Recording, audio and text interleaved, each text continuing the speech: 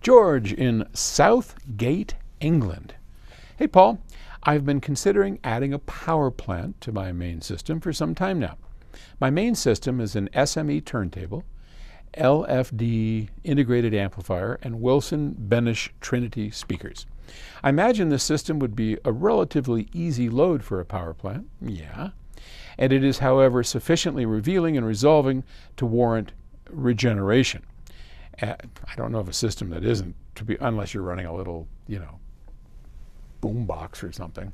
Um, and I wanted your advice on the sonic effects of larger versus smaller power plants, where the system is a relatively easy load.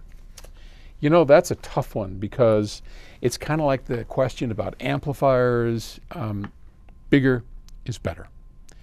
Why? A bigger power plant has a bigger power supply, lower impedance, better regulation. And it is that low output impedance, that tight regulation of the AC voltage that makes the difference in the improvement in your system. So absolutely bigger is better. Now, there's also a point of insanity, which I have owned up to for more years than I can count. Uh, and, and so you have to gauge your level of uh, insanity. Uh, uh, it's probably a bad word because maybe that makes people feel bad, and I don't want people to feel bad. I'm nuts. I, you know, I put a P20 on even a small system, and it sounds better than if I had a, a P3 or one of the smaller ones. So there's a balance. You know, like for instance, if you have an unlimited budget and you have unlimited room, absolutely, bigger, bigger, bigger is better.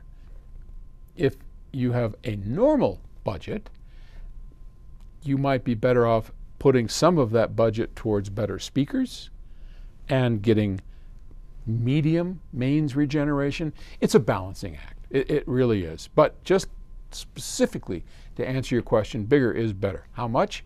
I, again, diminishing returns. All of this, you know, it gets better and better as it gets bigger, but the difference is nowhere near. So, so for instance, if you were to start the difference between no regeneration and even our smallest regenerator, huge. Add a bigger regenerator, bigger still, but it's still there. It's just getting smaller as that goes up. So I hope that helps. All right. Thanks.